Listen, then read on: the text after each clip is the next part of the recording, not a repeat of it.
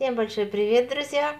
Сегодня готовим воскресный обед. Картошку, тушеную с ребрами. Из специй нам понадобится лавровый лист, черный перец, мускатный орех, чеснок, сама картошка, пару луковиц и ребра. Обжариваем все на сковородочке.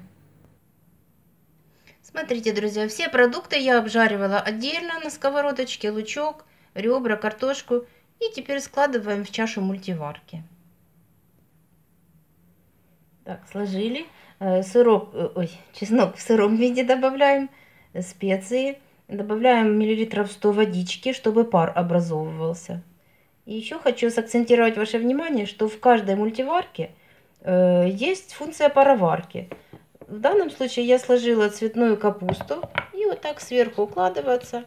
И паром обдается и готовится у вас сразу такой гарнирчик.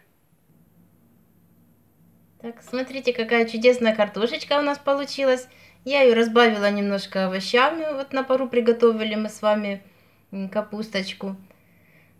Все, всем приятного аппетита и отличного настроения.